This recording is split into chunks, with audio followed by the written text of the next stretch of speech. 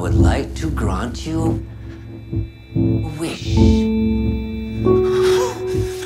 Wish.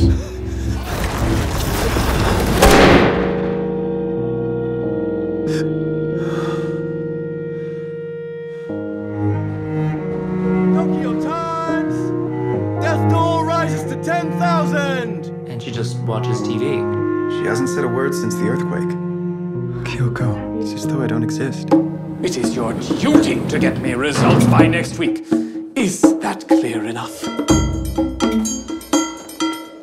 If she had a lover, she wouldn't stay at home watching buildings crumble all night long. Right. Call me Frog. I'm never coming back. I don't know. Why don't you um take a short trip or something? What's the most painful thing that's ever happened to you? Living with you I, was like living with a chunk of air. uh, I can't remember. What are you doing here? I'm here to save Tokyo from devastation. When was the last time you had sex with your wife? Tomorrow there could be an earthquake.